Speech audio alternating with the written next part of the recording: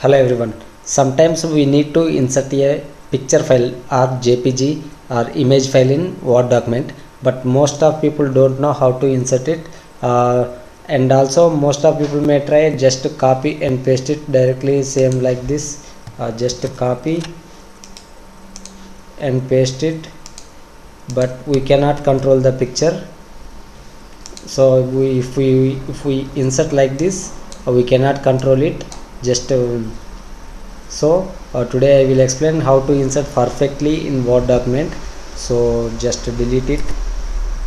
Uh, for this we need to choose insert insert option. Uh, just take the shapes pick a shape you want. Just to drag it. So we inserted a shape then after just right click it. Format auto shape. Uh, here the color fill effects. Just select fill effects. Uh, then picture. So you, you can insert the picture here.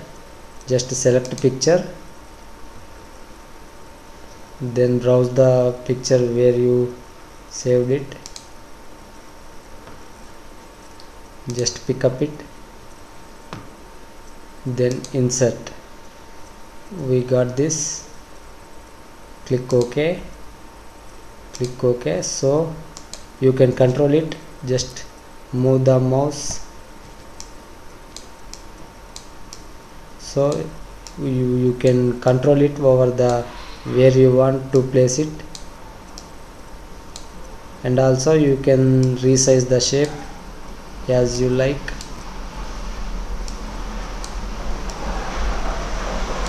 So this is simple process to insert a picture in word document.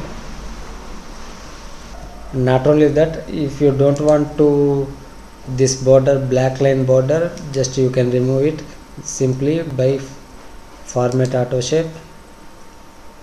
Here line color. Line color if you put the no color then line will be removed.